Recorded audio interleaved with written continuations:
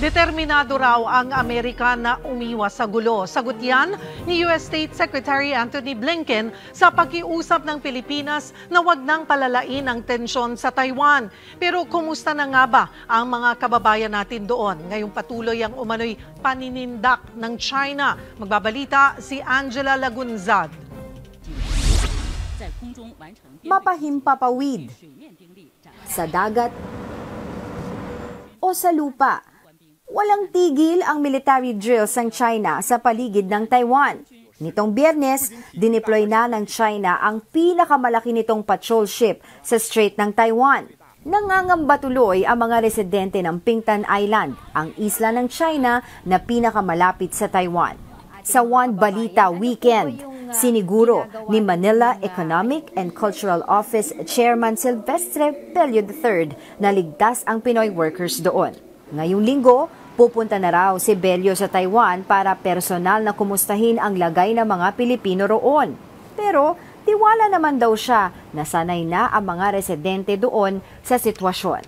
Hindi naman po na nalalagay sa langanin yung ating mga kababayan. Nakanda na yung mga shelter nila, nakahanda na yung mga food ration nila, nakahanda na lahat. Yung ating mga tanggapan naman, yung polo at saka yung teko, nakahanda rin tayo. Nagturuan na natin yung ating mga kababayan dyan. Kung kailangan i-shelter sila, Sang-ayon dyan si Pangulong Bongbong Marcos. Nang mag-courtesy call si U.S. Secretary of State Anthony Blinken, House Speaker Nancy Pelosi sa Taiwan.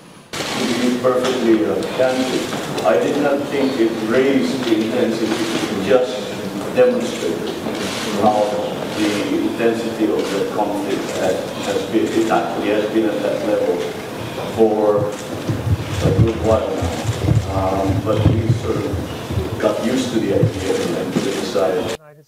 Sa pulong naman ni Blinken kay Foreign Affairs Secretary Enrique Manalo, sinabi ni Manalo na hindi nakakayanin pa ng Asian region kung magkakatensyon pa sa Taiwan Strait. Pero patuloy naman daw na susunod ang Pilipinas sa Mutual Defense Treaty sa Amerika.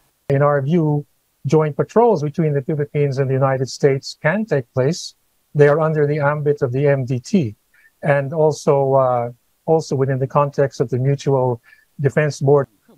Sabi naman ni Blinken, determinado ang Washington na iwasan ang paglala ng krisis sa China at Taiwan.